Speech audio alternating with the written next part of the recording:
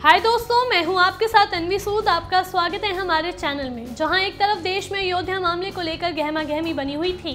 तो इसी बीच देश के प्रधानमंत्री नरेंद्र मोदी का ध्यान एक छोटे से बच्चे ने अपनी ओर कर लिया है। बीते दिनों हमने आपको बताया था कि बॉलीवुड एक्ट्रेस गुलपनाग ने ट्विटर पर एक वीडियो शेयर किया था, जो कि उनके छोटे से बेटे निहाल का था। इस वीडियो में गुलपनाग पीएम मोदी की कवर फ़ोटो वाली एक मैगजीन दिखाते हुए अपने बेटे से पूछती हैं कि वो कौन है। जिसके जवाब में निहाल कहते हैं, मोदी जी मोदी जी।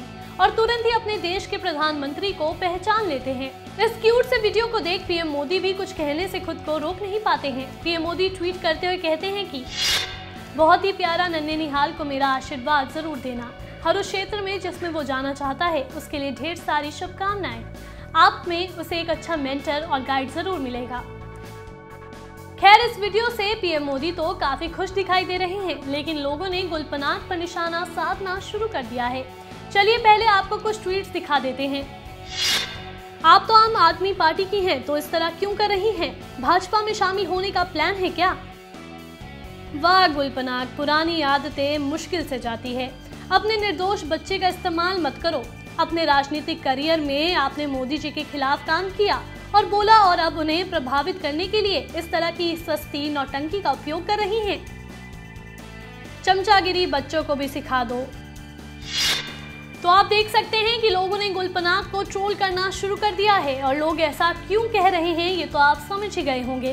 दरअसल 2014 में गुलपनाग चंडीगढ़ लोकसभा सीट से आम आदमी पार्टी की उम्मीदवार रह चुकी हैं। यही वजह है कि लोगों ने उनके इस वीडियो शेयर करने का अलग अलग मतलब निकालना शुरू कर दिया है।